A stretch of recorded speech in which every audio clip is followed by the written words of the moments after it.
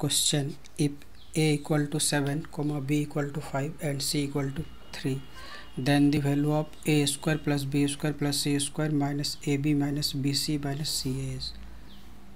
तो इस क्वेश्चन में ए बी सी की वैल्यू गिवन दिया हुआ है और हमें इस एक्सप्रेशन पे पुट करनी है।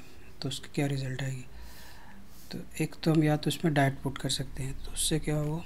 लेंदी हो जाएगी। तो इसमें हम इसके जगह आइडेंटिटी यूज़ करेंगे। A square plus B square plus C square minus A B minus B C minus C A की जगह हम लिख सकते हैं half into bracket of A minus B whole square plus B minus C whole square plus C minus A whole square और अब हम इसमें ए बी सी की वैल्यू पुट कर देंगे तो ईजी से रिज़ल्ट आ जाएगी।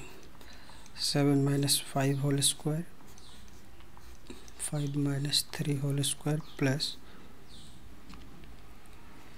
three minus seven whole square so is equal to half ये होगा फोर और फोर और ये sixteen so half into bracket of twenty four twelve two जो twenty four so twelve answer